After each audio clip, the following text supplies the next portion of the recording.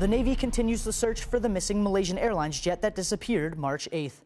U.S. Pacific Command has ordered a black box locator to the region to assist in the search. The towed Pinger locator system can locate black boxes on downed aircraft to a depth of 20,000 feet. The locator is towed behind a vessel at slow speeds and carries a listening device for detecting pingers that transmit an acoustic pulse. SECNAV spoke at the christening ceremony of the future USS Jackson in Mobile, Alabama Saturday. Jackson is the third Independence variant littoral combat ship the Navy contracted to build. She is the first ship to bear the name of Mississippi's capital and is scheduled for delivery by the end of the year. Read more about these stories at Navy.mil. From All Hands Update, thanks for watching.